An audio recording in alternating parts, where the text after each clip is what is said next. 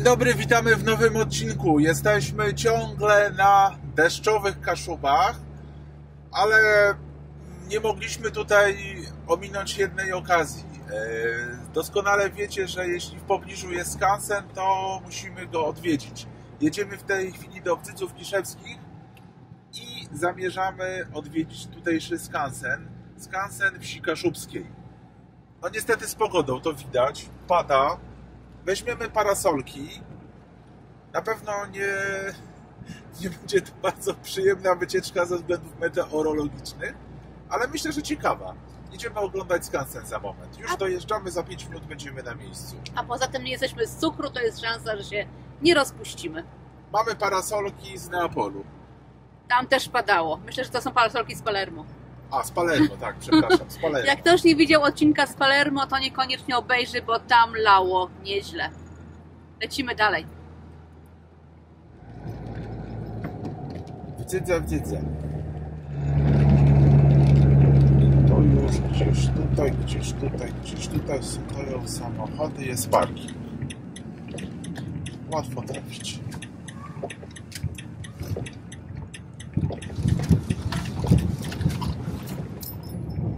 Pogoda mi przypomina jedną rzecz. Jak żeśmy w zeszłym roku zwiedzali domek Tomasza Mana na Mierzei Kurońskiej.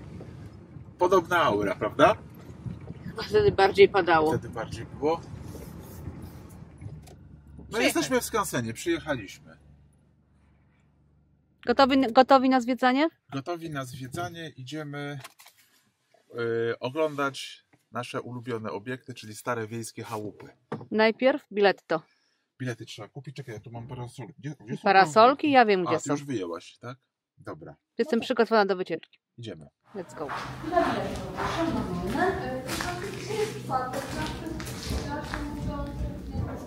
Jejku, to mamy pierwszego farta. Dziękujemy pięknie w takim razie. A można coś z deszczem zrobić? Z deszczem? Aha, nie, to taka klimat, to deszcz za chwilę pewnie przestanie padać. Dobra. To dziękujemy pięknie, idziemy dalej. Ale piękne kurek puszczą. Którędy idziemy? Prosta? Dobrze, poczekaj, tu muszę kurę Lis, o lisy.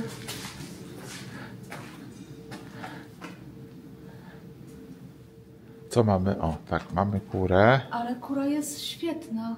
Ty, ale to ona by do świnki pasowała. lisy, na dole masz kota. Brązowego kota. Dobra, jesteśmy przy planie skansenu, muzeum. Mamy 37 obiektów w sumie. 37 obiektów. Idziemy, czekaj, po chyba po kolei. Czyli jak Tak. stąd pójdziemy prosto, to najpierw będzie wiatrak, tak? Dobra, już wiem, że jesteśmy we w prawdziwym skansenie. Skansen musi mieć wiatrak. Jak nie ma wiatraku, to nie ma skansenu.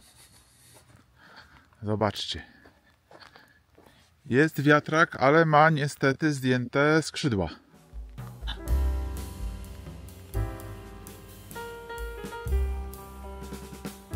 Ten obiekt to jest kopia młyńskiej szopy. Oryginalna się nie zachowała, natomiast na podstawie tego, co się udało otworzyć, wykonano kopię. Tutaj głównie mm, w takiej szopie mieścił się warsztat stolarsko-ślusarski. Idziemy zobaczyć, jak to w środku wygląda. Rozmaite narzędzia, piła, tokarka.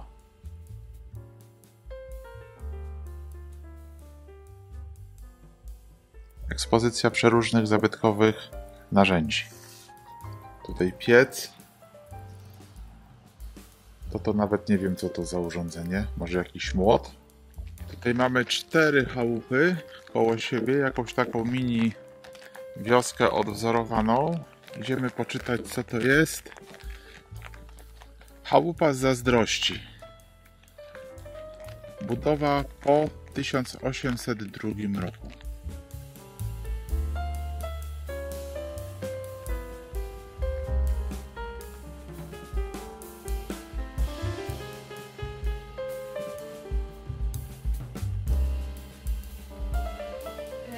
Zwiedzili- Zwiedzamy chałupę z XIX wieku, która jakby stanowiła podwalinę pod y, y, powstanie tego skansenu. Wasz ostatnim właścicielem był pan Ossowski y, i ta chata jest o tyle większa, że y, po, po, po, poza tą starą częścią w ostatnich latach życia dobudowano y, kuchnię, y, kuchnię i spiżarnię na jakby na tarasie, tak to nazwijmy dzisiaj po naszemu. To kiedy to było e, zamieszkiwane? Do lat 70. lat 70., tak. Roz, zamieszkiwane i rozbudowane, a chałupa z y, Czyli to- XIX wieku. I ona stała oryginalnie w tym miejscu, czy jest Ona przeniesiona? jest przeniesiona. Okej. Czyli to, to są podwaliny tego skansenu. Dom Tak. ludzi, którzy zaczęli to budować i, i, i organizować ten skansen.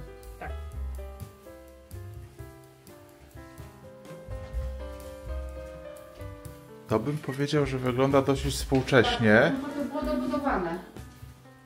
Ja bym powiedział, że lata 70. spokojnie. Taki, taki ten zobaczył mojej babci. Zobacz. Ja takie klimaty pamiętam z wakacji w latach 70. na wsi. Idziemy tędy? Dziękuję. Miłego dnia. Do widzenia.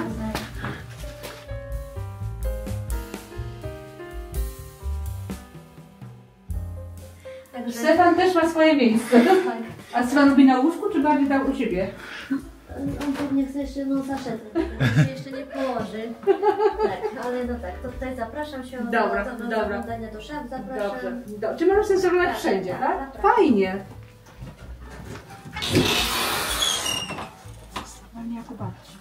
Czy się burzy w oknie. Bez tego ani rusz. Ale zobaczcie, tu jest jedna rzecz, której zazwyczaj w muzeum jest nie dotykać eksponatów. A tutaj co jest napisane? Możesz się położyć.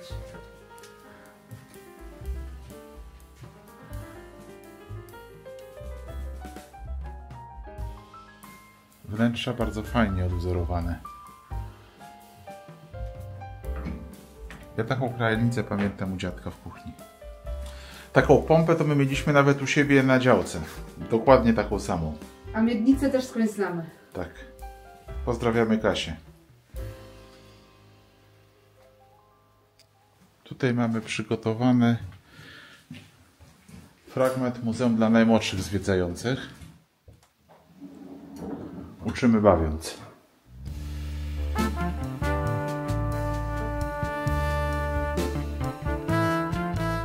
Zobaczcie jaki płot z takich tyczek żerdzi. Praktycznie z odpadów zrobiony. PKS kiedy odchodzi? E, Jak zwykle nie ma rozkładu jazdy, to jest standard po prostu.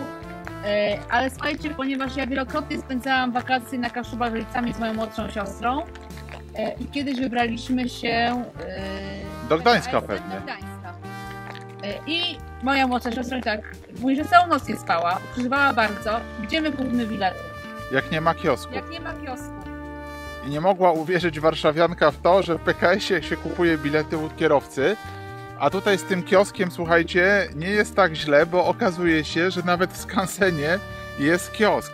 Także tutaj to jest skansen, który swoją e, historię kończy jak gdyby na latach 70., bo tutaj są rzeczy, które my z Magdą pamiętamy z dzieciństwa, jak się jeździło na wieś. Zobaczcie, jaki kiosk odtworzony. jaki merchandising, zefiry są. To jest prawdziwy książ... y, kiosk ruchu. RSW, prasa, książka, ruch. Zefiry, Karo, Carmeny, moce i sporty z filtrem. Takie zabaweczki plastikowe, jakieś figurki, dziennik ludowy. Słuchajcie, no to jest nasze dzieciństwo. To nie są rzeczy sprzed 100 lat, tylko sprzed niespełna 50. Czy sugerujesz już zabytkowi? My jesteśmy vintage. Nie wiem, czy będzie widać, ale kultowa kartka z napisem Zaraz wracam. Zobaczcie, są nawet komiksy z Tytusem. Są książki Tomka, Alfreda Szklarskiego z całej tej serii. Jakieś mydełka, kolorowe zagadki. No mega.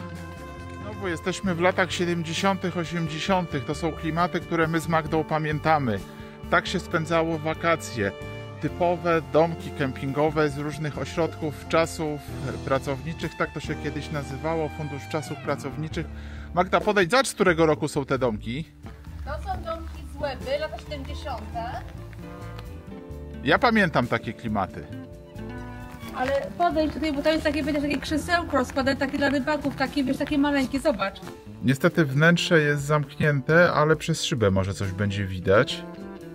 Są dwa łóżka, tu jest coś na kształt kuchni czy łazienki. Tego chyba nie będzie widać, ale na stoliku leży czekolada wyprodukowana przez zakłady 22 lipca, dalej Ewedel.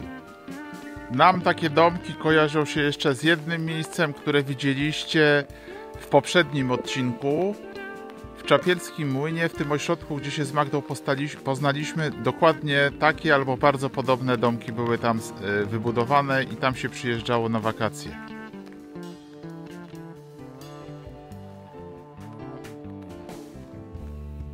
Tutaj mamy ponad stuletnią stodołę, koniec XIX wieku. Niestety zamknięta, także środka Wam nie pokażemy. Przed nami kolejny budynek jest otwarty, będzie można wejść do środka i zobaczyć, tam jakaś ekspozycja jest w środku udostępniona. To jest spichlerz. Już stąd widzę, a z jakiego on jest okresu, to muszę podejść, podejść bliżej. Budowa XVIII wiek. W spichlerzu mamy ekspozycję zabytkowych fotografii pokazujących, jak wyglądało dawniej życie na kaszubskiej wsi.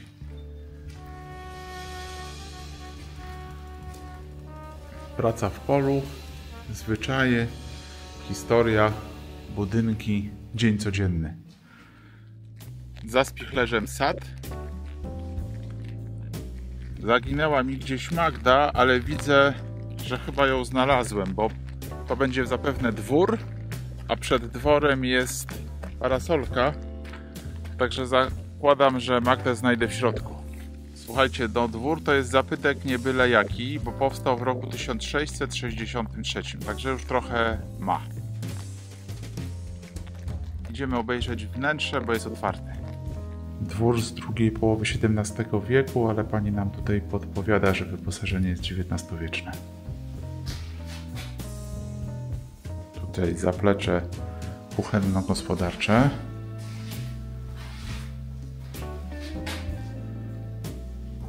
Duży piec. Kuchnia. Tutaj, sądząc po zabawkach, pokój dziecięcy. Bardzo duży. Na przed chwilą widzieliśmy salon. Tutaj miejsce do pracy, biuro właściciela dworu zapewne i bezpośrednie przejście do sypialni.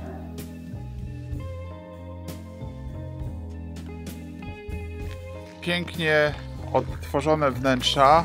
No i to mówię, to jest koniec, druga połowa XVII wieku.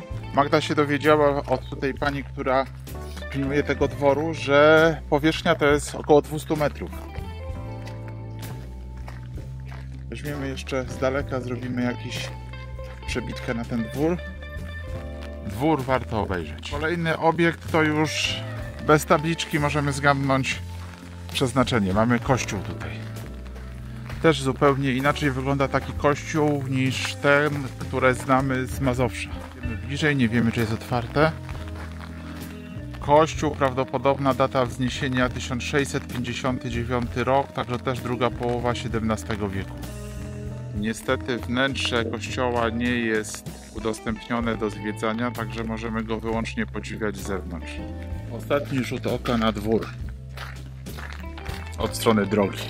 Mamy kolejny obiekt, który dopiero jest w czasie rekonstrukcji po przeniesieniu i to jest kolejny dwór. Wygląda zupełnie inaczej niż ten, który żeśmy oglądali. Na ten moment oczywiście nie jest udostępniony do zwiedzania, bo trwają jeszcze prace rekonstrukcyjno-budowlane. A naprzeciwko dworu mamy kapliczkę przydrożną. Ceglana kapliczka. Kolejna chata, tym razem kryta strzechą. Magda się dowiaduje więcej. To są lata 20. XIX wieku. I w tej chałupie, oprócz tej funkcji takiej mieszkalnej, y, była pracownia tkacka. I tu wytwarzano bawełniano-lniane ręczniki oraz lniane płótno. Y, I y, w 2003 roku do chałupy sprzedano do skansenu. No i kolejna chałupa, kolejne obejście, idziemy obejrzeć. Tutaj mamy o tyle fajną ekspozycję, że to jest kompletna zagroda. Jest chałupa, jest obora stajenka i jest też stodoła. Idziemy sprawdzić, co jest otwarte, co można zobaczyć wewnątrz. W chałupie mamy wnętrze udostępnione do zwiedzania.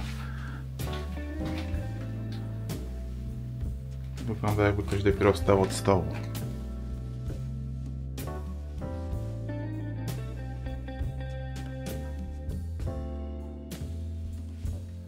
To też Magda nie jest biedne e, wnętrze. Duże i patrz, sądząc po wyposażeniu, tutaj byli zamożni właściciele.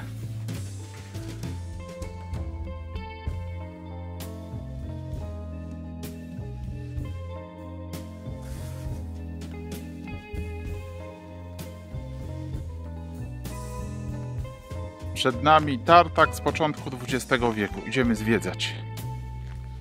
Już widać, czym maszyny w tartaku były napędzane. Widzimy tak zwaną lokomobilę, czyli taki pojazd parowy, który tutaj stacjonarnie napędzał urządzenia tartaku. Z tyłu palenisko, komin, pas transmisyjny, koła transmisyjne i tym napędzano trak, czyli tę piłę, którą w tartaku tnie się drewno.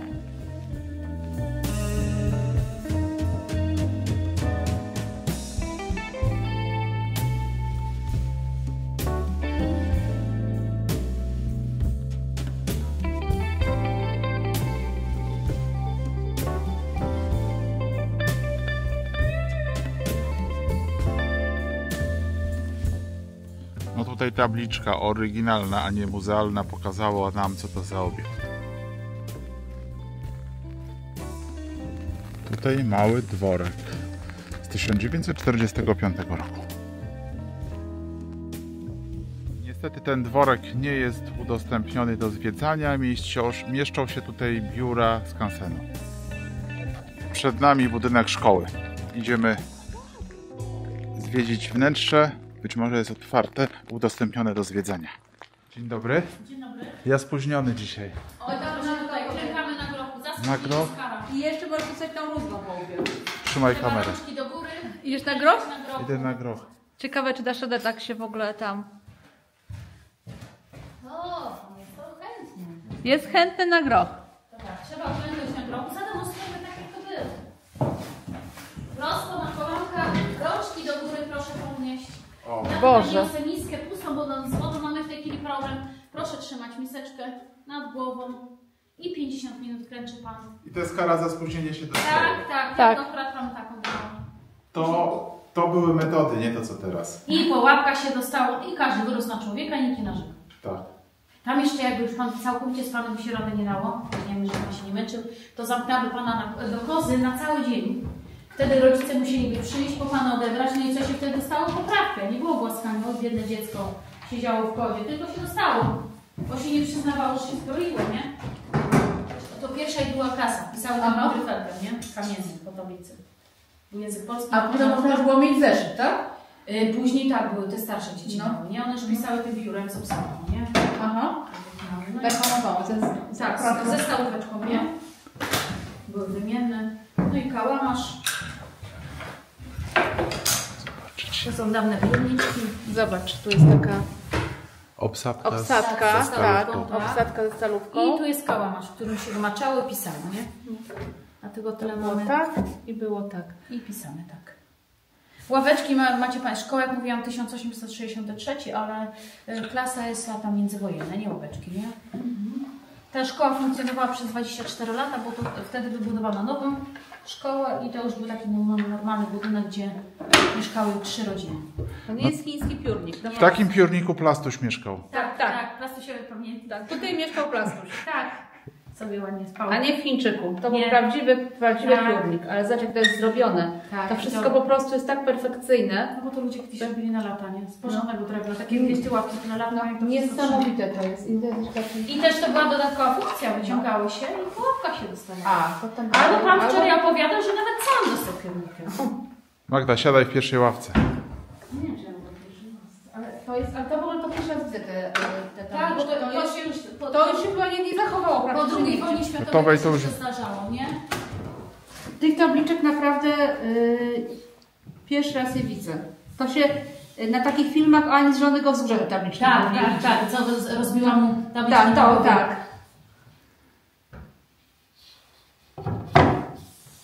Ale fajna ekspozycja.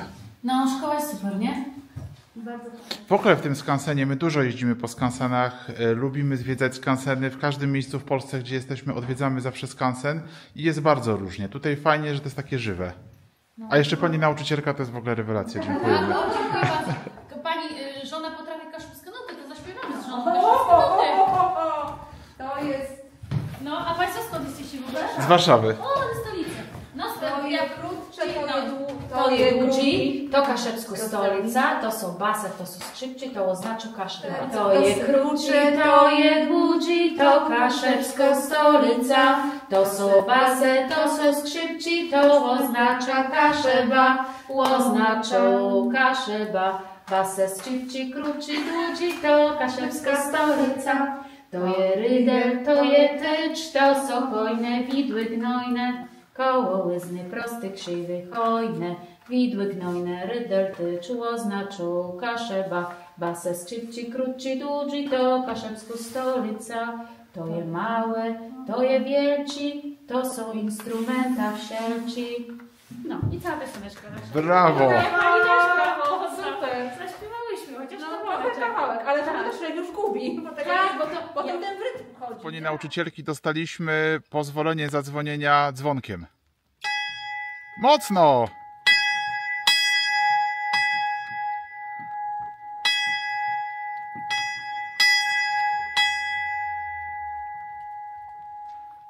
Idziemy do drugiego już kościoła. Słuchajcie, rzadko się zdarza chyba, żeby w jednym skansenie były dwa kościoły, prawda Magda? Zazwyczaj jest jeden. Tak, światło się świeci, jest. Tylko tutaj już inna konstrukcja tego kościoła.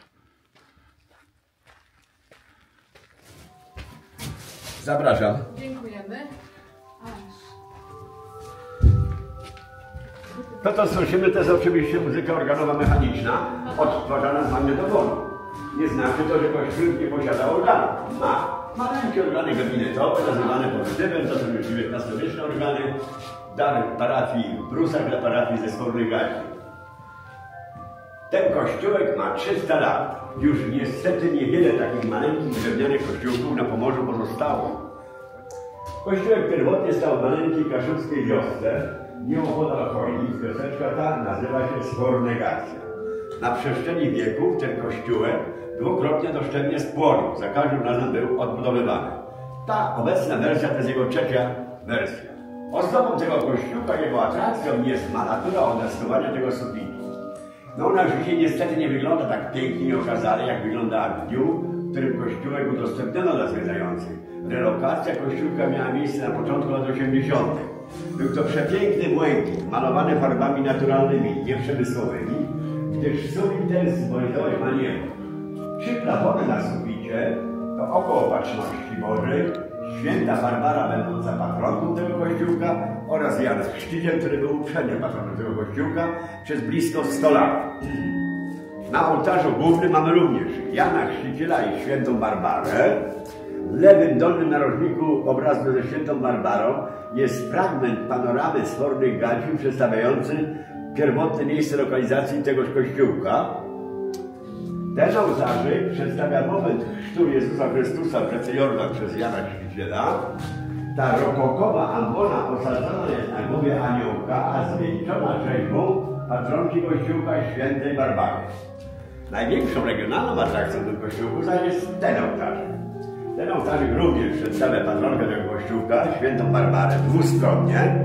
Taki ołtarzyk na Kaszubach nazywa się feretron. Feretron uczestniczy w procesjach i w pielgrzymkach. Kościółek, mimo że jest obiektem muzealnym, a nie parafialnym, w dalszym ciągu pełni również funkcje sakralne. Otóż w każdą niedzielę i święto kościelne o 8 rano w tym kościółku odbywa się msza dla mieszkańców wioseczki Dzyzy oraz dla turystów przebywających w okolicy. Również otwarta jest furtka przy krzyżówce, każdy może wejść, bo muzeum jest oczywiście otwierane. Dziękujemy zdrowia. Bardzo się będzie. Dziękujemy. Tu jest odtworzona wieś, tak. Chałupa przy chałupie. No też jest od, od, udostępniona do zwiedzania. Możemy wejść do środka, zobaczyć. Ale tutaj możemy tylko sieni zobaczyć. Dalej są szklane drzwi.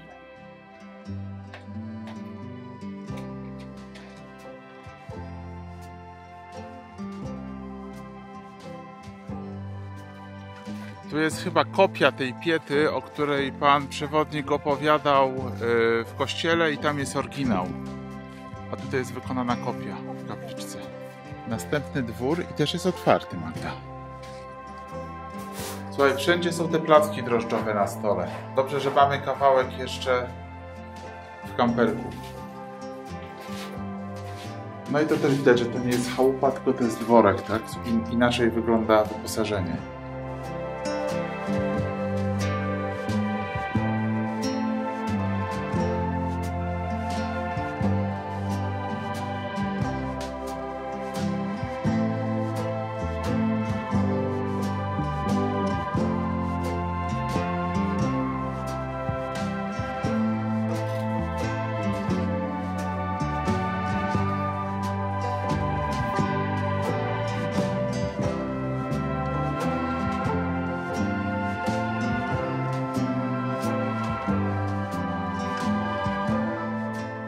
Słuchajcie, mamy kolejny wiatrak, niestety znów bez skrzydeł.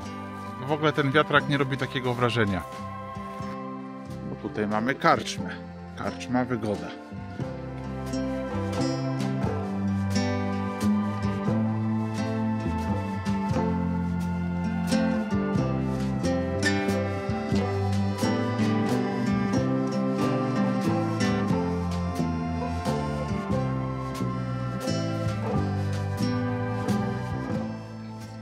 Krzysiu powiem? Głodna jestem. Głodna Taki jesteś? porządny talerz zupy bym zjadła. To co, idziemy coś zjeść? Tutaj nie zjemy, bo tutaj nie ma. No jest zobaczymy. tam, przy, podobno przy wejściu jest. Powolu idziemy do wyjścia chyba. Czyli tutaj i gdzieś w lewo i wyjdziemy w, yy, w okolicach tego wiatraka pierwszego, który żeśmy oglądali.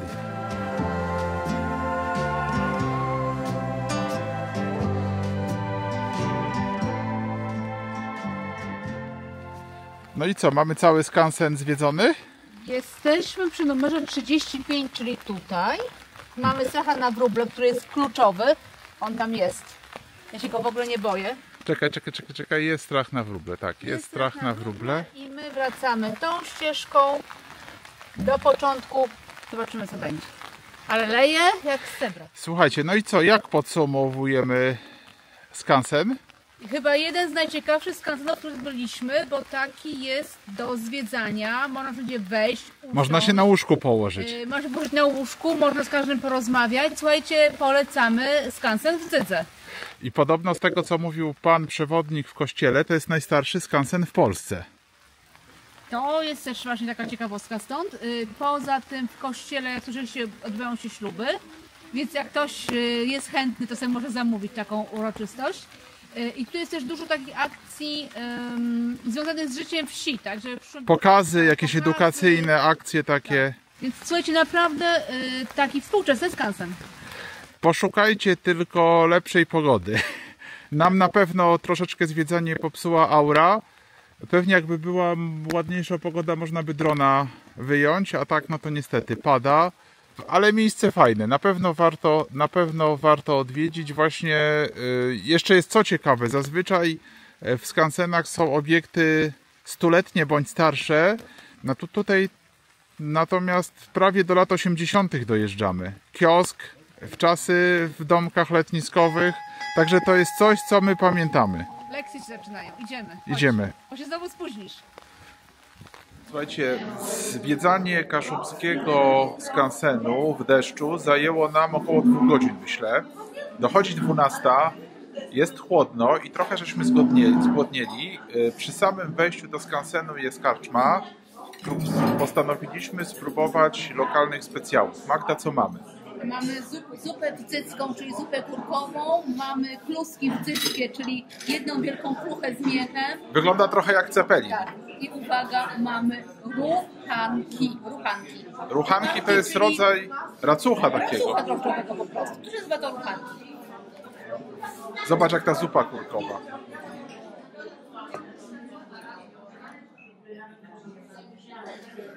Ciepła i dobra. Kurkowa. Dobra? Mhm. Czekaj, też za moment spróbuję. Widzę, że kluska jest solidnie okraszona, także to będzie kolejny stres test dla mojej wątroby. Co to za ciasto?